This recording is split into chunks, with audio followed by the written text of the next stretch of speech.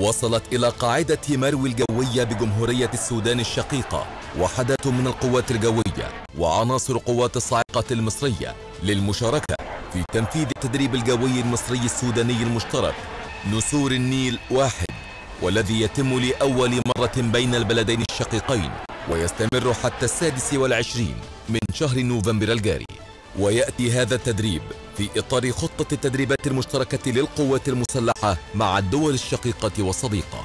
ومن المقرر أن يشهد التدريب تنفيذ العديد من الأنشطة والفعاليات حيث بدأ التدريب بتنفيذ العديد من المحاضرات النظرية والعملية والتي تساهم في توحيد المفاهيم وتبادل الخبرات بين الجانبين.